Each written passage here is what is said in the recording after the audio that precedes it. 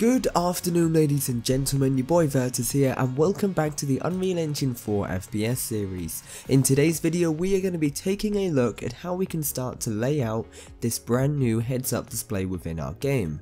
As of right now the heads up display we've got in our game doesn't look that great, we've just got a health bar at the bottom, some text, and there's just no graphics, there's no style, and that's pretty much what I'm going to be showing you how to do in today's video.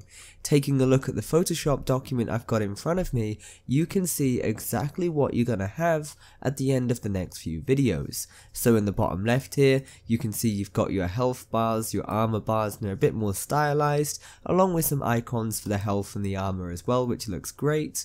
And then also in the bottom right, you've got some icons for some grenades we're going to be we're going to be implementing later on in the series, and the text is just a little bit more well formatted. Top left, you can see we've got our objectives with like a little backing plate to it, a mini map, and a bunch of other cool stuff. Today, we're just going to be focusing on getting these graphics um, from our computer and into the engine, and then starting to lay them out into the Unreal Engine UI editor. And then over the next few videos, we are going to be working on the functionalities for stuff like, um, you know, the mini map, the kill feed, the and you know that kind of stuff. So without further ado, let's go ahead and get into it. Now, you guys do not need to worry about exporting all of this stuff out of Photoshop because I have done this for you already.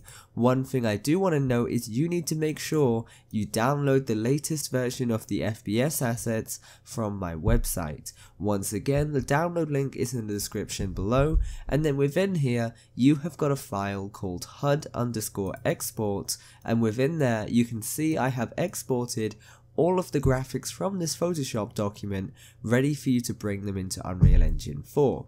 So let's go and import these into the engine so we can start using them within my main blueprints folder, I'm going to right click and I'm going to add a new folder and simply call it HUD underscore export. So that way when I drop all my stuff into the engine, it's not going to go all over the place, we're not going to lose it or anything like that. So back in our file explorer, select all of this stuff that I've exported for you, Control A to select everything, click, drag and drop and just drop it into your content browser and then you'll get all of your graphics into your scene. Don't worry about any export, import settings, anything like that. With PNG files, there's none of that business to worry about. So what we need to do now then is actually start bringing some of these assets into our UI. So the way we're going to be doing this is by going back to our main blueprints folder and opening, opening up our FPS HUD widget. The reason why we're doing it from here is because everything UI related for us is going to be stored within here, graphics side anyway. So what I'm going to do is I'm going to take a quick look at my little reference image within Photoshop. And then with this, I'm just going to figure out a starting point for the stuff that I'm going to implement. And I think the best place for me to start realistically would maybe be just placing some of these little borders in the top left, the top right, and then moving on to the more advanced stuff like the action bar, uh, the player bars for the health, the armor, and the icons, that kind of stuff. So starting off, let's go ahead and add in a couple of images for the borders that you'll find in the top right. However, before I do that, I'm going to want to make sure everything is where it should be. So as of right now, my objectives are on the wrong side of the screen, so I'm going to move these over to the left hand side. And because I'm moving them over to the left hand side, I also want to make sure I anchor it to the top left as well. And also make sure I change my text justification to the left as well so nothing gets broken. So that's all good. Also, ammo should be on the right hand side as well. So I'm going to move this over and just place it in just like this. My health bar and my armor bars should also be on the left over here too. And there we are. So moving on now, we are going to add in the border stuff. So I'm going to type in border, and the one I'm going to add first is my kill feed border. Now, as far as size goes, I'm just going to copy the original size. Because I exported this out from a 1920 by 1080 document, all of the sizes are going to be exactly where they should be. So I'm going to set my size X up here in the details panel to match what it should be over here in the appearance. So 110 by 33 and then I'm just going to place this in the top left just like that. And then if you remember, once again, we need to make sure we anchor this into whichever corner it's going into. Let's add another one of these images in. We've got one over here. For the image, this time it's going to be the kill feed border. And once again, just get the original size, which is 110 by 33. And then all we're going to do is just place it into our top right hand corner and then make sure that we anchor it. And hopefully if I compile this and press play, we should be able to see these borders at the top corners of our screen, which is all good. Because that's all done, I can now move on with some of the other stuff. I'm not going to worry about implementing the minimap just yet in the kill feed. Those are going to be whole separate videos of their own as they're quite complex. The next step that I'm going to do is styling our little health bars and our armor bars. So select the first one, our armor bar, go to background. What we want to do is just use our two images. So with our bars, we've got bar underscore fill and bar underscore no fill. No fill is when it's empty, and fill is when it's, you know, full. So we're just going to be chucking these into the background and the fill image. So for the background image, the image is going to be bar underscore no fill. And then make sure your margin is set to zero. Go to fill image, once again, bar, and this time use bar underscore fill. And set your margin to zero, just like that. Scroll down and make sure you change your fill color and opacity back to 1 because if you take a look in our heads up display it should all be white. So having said that set R to 1, G to 1, B to 1 and alpha to 1 and it should look white just like this. And then once again in terms of size you want to make sure it's exactly the same as it is down here. So that is 291 by 6 and that will become the same size as it is in our heads up display. Do the same thing over here, size x and y, 291 by 6, and then for the image, fill image is bar underscore fill, and then margin to 0, and then background, margin to 0, and then bar underscore no fill. Once again, colors, set this to 1, 1, 1, and 1, and it will go back to white, and now we've got these nice little bars.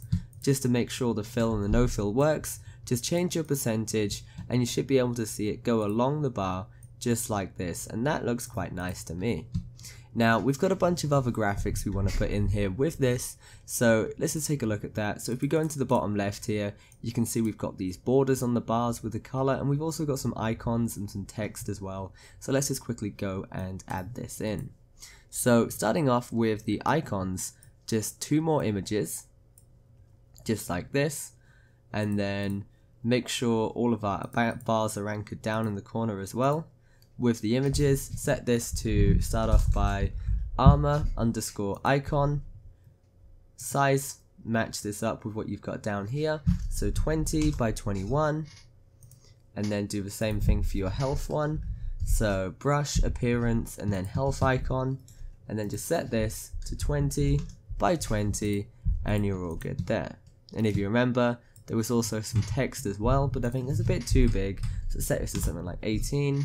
And then the content for the text, let's just change the default text to 100.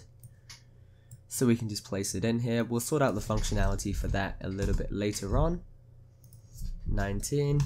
And we are all good.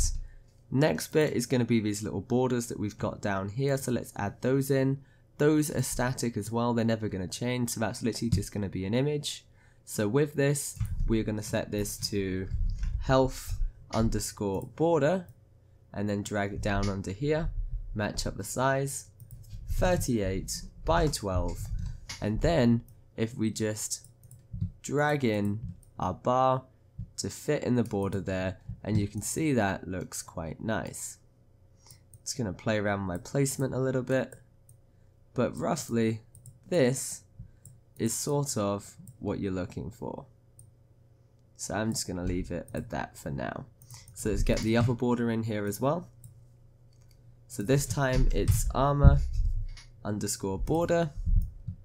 Size should be the same. So 38 by 12. And then it's going to drop it in over here and just place our player bar by clicking, dragging and dropping.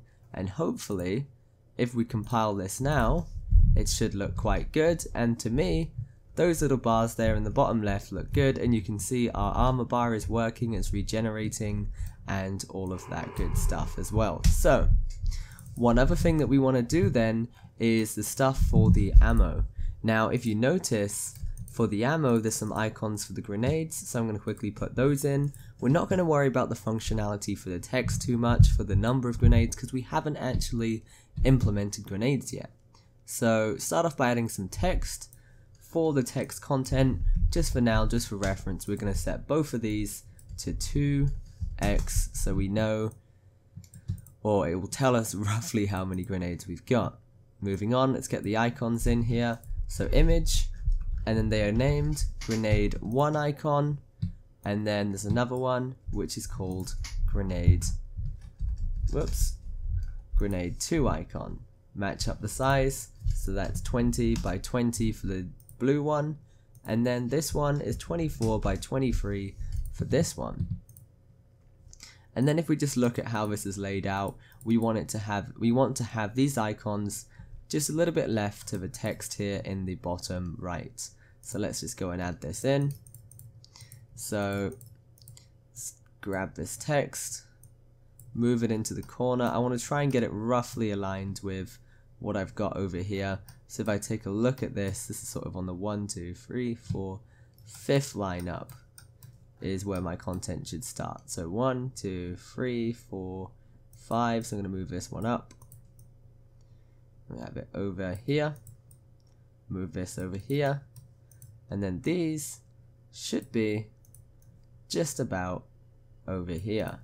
I think my text for this stuff is a little bit too big at the moment as well. So I'm going to change the font size of this to something like 15 and 15. And I'm going to change it to light as well so it doesn't look too bad. And then we just chuck these in here. This should start to look a bit more like our heads up display.